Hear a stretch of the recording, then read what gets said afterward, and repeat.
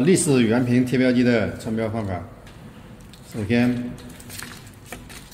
标签放在标盘上，然后盖子盖上，从第一根导杆过，然后一穿，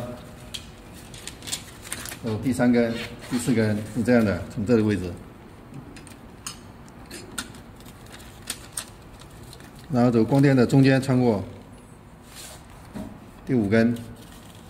第六根从前面，然后拉长，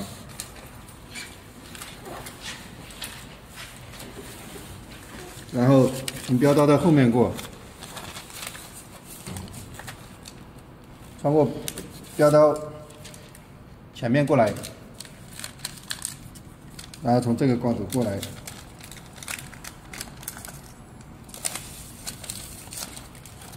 这里穿过，从抱脚轮的前面穿过，